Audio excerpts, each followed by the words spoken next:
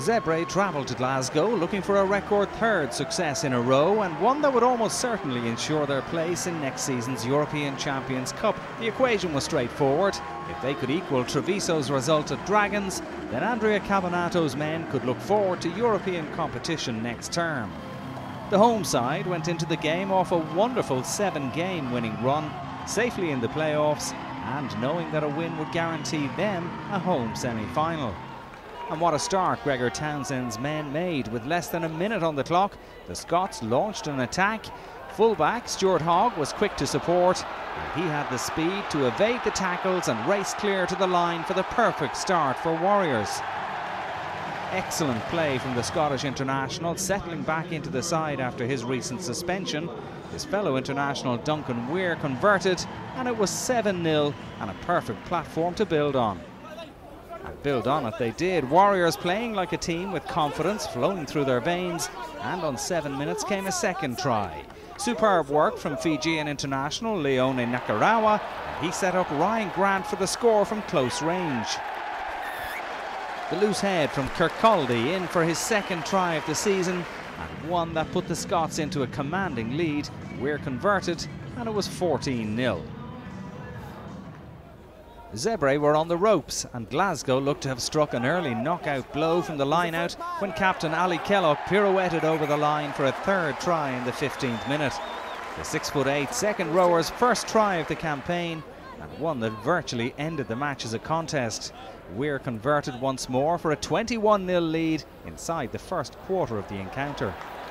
Uh, With so much to play for, Zebre were a pale shadow of the side they've been in recent weeks, and it got even worse for them in the 19th minute when the ball was moved wide by a rampant Warriors, and yet again Hogg was well placed for a fourth try, one that ensured a bonus point and a home semi-final for the Scots.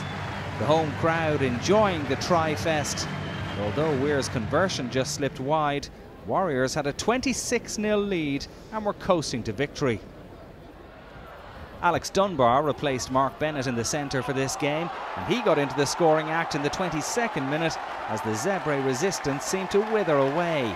A fifth try for the home side, and Zebre in danger of suffering a cricket score defeat.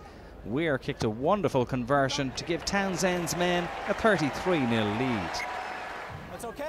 It was almost entirely one-way traffic. And Glasgow added to Zebre's woes in the 31st minute. Dunbar kicked ahead and Hogg raced clear and looked set for his hat-trick but Nico Matawalu outpaced his teammate and just got the touchdown ahead of Hogg.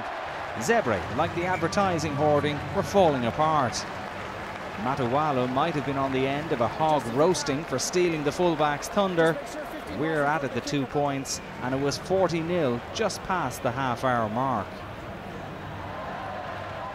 Into the second half, it was inevitable in the difficult conditions that the game would lose some of its urgency. It took until the 66th minute for the next score, Geoff Cross getting over the line from close range for a seventh Glasgow try. The ref Alain Rolland asked for the assistance of the TMO before awarding the try. Cross on loan from Edinburgh getting in for his first score in three years. Weir converted for 47 0 and Warriors passed the half century soon after when Matawalu demonstrated his pace once again with a run from 40 metres out to go clear for an eighth try of the game for Glasgow against a thoroughly dispirited Zebre. Weir tapped the conversion over and it was 54 0. That's how the game would finish. Joy for Glasgow, who take on Munster at home in the semi-finals and will be full of confidence after an eighth straight win, but they'll surely face a sterner test.